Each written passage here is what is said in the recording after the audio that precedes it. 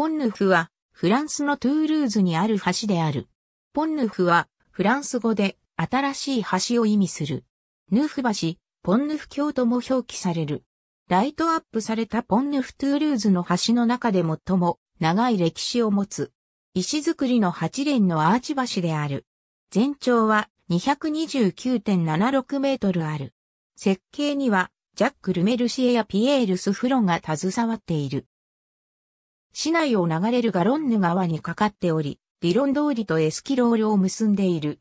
開口部土木技術者のウジェーヌ・フレシネは、トゥールーズのポンヌフが世界で最も美しいという旨を述べている。パリのポンヌフと同様、この橋も丈夫で強度があり、ポンヌフのように頑丈という慣用句は、パリだけではなく、トゥールーズでも頻繁に用いられている。1543年に着工され、1632年に完成した。1659年10月19日、ルイ14世によって正式に開通される。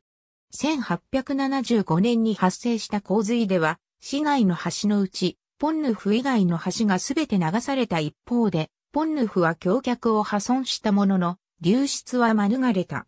1932年に歴史的記念物に指定されている。サンジャックセリョイン上流には、サンピエール橋が、さらに上流には、カタラン橋がかかっている。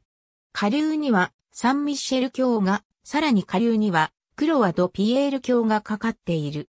橋の東側には、ラドラードの聖母のバシリカや、アセザカン、エコールでボザールなどがある。